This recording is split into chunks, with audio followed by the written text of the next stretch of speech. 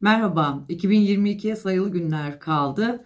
O yüzden şöyle 2021 değerlendirmesi yapalım istedim. Gerçi 2021'in de en son ayların değerlendirmek bile e, yeterli olacaktır. Çünkü biliyorsunuz e, Nurettin Nebati açıkladı, Hazine ve Maliye Bakanı artık ekonomide göz göze Nurettin Nebati göz göze modelini açıklayınca hemen aklıma bir anekdot geldi. Sizinle de paylaşayım. Ee, her akşam eşi eve geldiğinde kadın kapıyı açıp hoş geldin bey deyip elindeki torbalara yelteniyormuş. Sonra mutfağa geçiyormuş. Çok böyle hoş sohbet bir çift de değillerdi herhalde. Yıllar aylar böyle geçmiş. En son bir gün yine eş eve geldiğinde hoş geldin bey demiş. Elindeki torbalara yeltenmiş. Bakmış torbalar yok. Göz göze gelmişler. Kadın dönmüş. Aa bey sen şaşıymışsın demiş. Ee, dolayısıyla durum bu kadar vahim demek ki dedim ben e, duyunca. Çünkü göz göze gelmeye başladığımıza göre eller ve cepler boş demektir. Nurettin Nebati de burada sinyali vermiş oldu. E, kendisine bu sinyal için ben ayrıca teşekkür ediyorum. Çünkü benim aklıma hemen bu anekdot geldi. Olması da çok doğal. Çünkü asgari ücret 4250 lira oldu. Ee, ama Allah'ın simidine Aralık ayında %40 zam geldi. Simit 3,5 lira. Ee, İyi Parti'nin yaptığı bir e, hazırladığı bir yoksulluk raporu var. Bu rapora göre Türkiye'de 550 bin kişi günde 3 kez simit alamayacak durumda.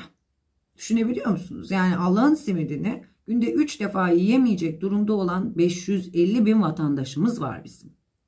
Türk İş 4 kişilik bir aile için açlık ve yoksulluk e, sınırını açıklıyor. Burada da 10.7 milyon insanın aç olduğu ortaya çıkıyor. Yoksulluk sınırı içinse belirlenen rakam 4 kişilik bir ailede 13.073 lira ve buna göre Türkiye'de 54.1 milyon insan yoksul statüsünde yaşıyor. Akaryakıtta son 3 ayda gelen zamlarsa baş döndürüyor. LPG'ye %80, motorine %58, benzine de %49 zam geliyor 3 ayda. Peki sırf bu yüzden e, oluşan handikapa bakın şimdi bunu ekonomist yazdı. E, Türkiye Ziraat Odaları Birliği Genel Başkanı Bayraktar açıkladı. Kasım ayında üreticiyle market arasındaki fiyat farkı 9 kata ulaşmış ve rekor da %790'la limondaymış. Yani 1 liradan üreticinin elinden çıkan bir ürün market rafına geldiğinde 9 lira. Hatta ıspanakla ilgili üreticiden 1 lira 89 kuruşa çıkan ıspanak 6 lira 31 kuruşa rafa geliyor.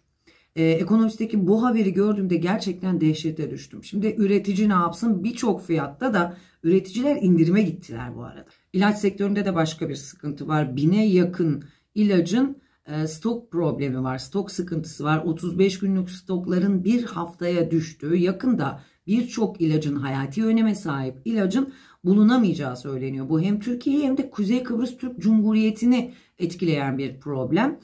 E, antiparantez başka bir problem daha var. E, ham maddeyi alırken reel euro kuru üzerinden işlem yapan ilaç firması bunu piyasaya sürerken yani ilacı piyasaya sürerken euro 4 lira 57 kuruşta sabitlendiği için bu kuru kullanmak zorunda. Yani ham maddeyi 15.68 e, civarında alırken bunu 4 lira 57 kuruştan piyasaya sürecek. Yaklaşık 11 liralık bu farkıysa eğer kapatamadığı, e, tölere edemediği durumlarda da batmaya mahkum olacak firma. Zama da zam gelmiş bu arada. E, onu da paylaşayım. Motorlu taşıtlar vergisi artış oranı 2020'de %12 e, oranındaymış. 2022 yılında e, motorlu taşıtlar vergisine %25 zam geldi. Yani zamma da zam gelmiş oldu. Cumhurbaşkanı Erdoğan geçtiğimiz hafta dövize endeksli mevduat hesabını duyurmuştu. Şimdi de bu altın korumalı bir mevduat hesabı e, devreye giriyor.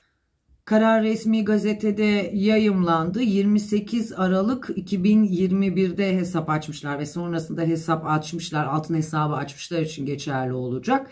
E, altın hesaplarını TL'ye çevirecek insanlar ve işte e, aynı şekilde dövizde olduğu gibi e, faiz getirisine sahip olacaklar eğer o gün e, altın fiyatları onların hesapları açtıkları tarihten daha düşük olursa.